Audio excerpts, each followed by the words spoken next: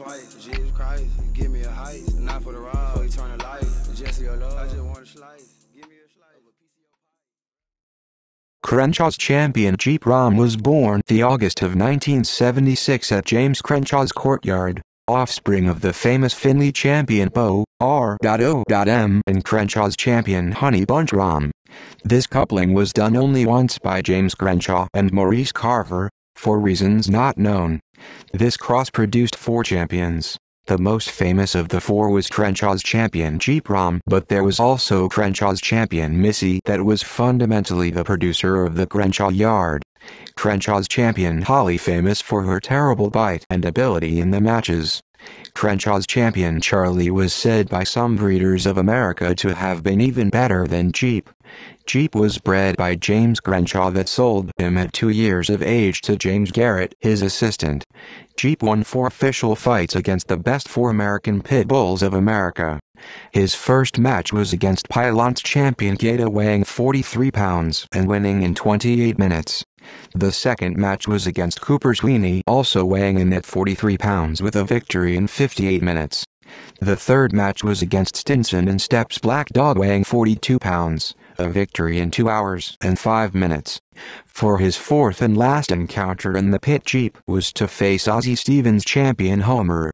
Champion Homer, the most famous American pit bull terrier of that time, the very dog no breeder had had the courage to put their own dogs to confront in a match. James Garrett had this courage believing profoundly in Jeep's incredible qualities and so it was. Jeep the better adversary of the two, won against Ozzie Stevens champion Homer weighing in at 43 pounds, in 3 hours and 45 minutes. The match between these two titans made history.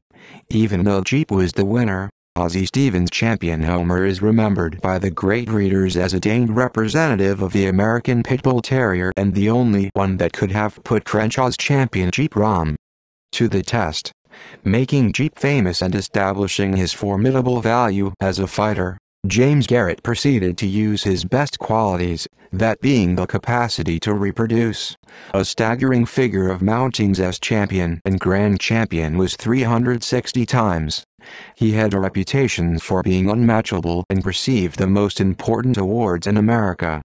POR, Producer of Record, and ROM, Register of Merit. Only later his record would be broken by the most famous of his offspring Garrett's White Tab Rom that was coupled 640 times. Some crosses noted in the American Pit Bull Terrier world in which Jeep's blood merged with other bloodlines showed a great compatibility and gave birth to great examples such as Jeep Red Boy, Jeep Dash Rascal slash Jeep Dash Red, Boy Dash Rascal slash Jeep Dash Bolio.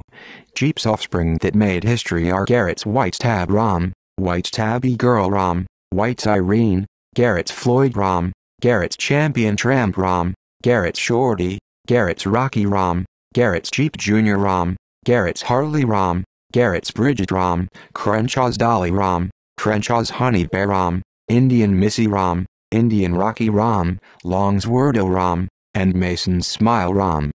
Crenshaw's champion Jeep Rom was considered by many breeders as the supreme American Pit Bull Terrier of the last 30 years. He established his final supremacy in dog fighting and in reproduction and no pit bull since has matched this twice. Jesus Christ, give me a heist. Not for the ride, for eternal life. Just your love. I just want a slice. Give me a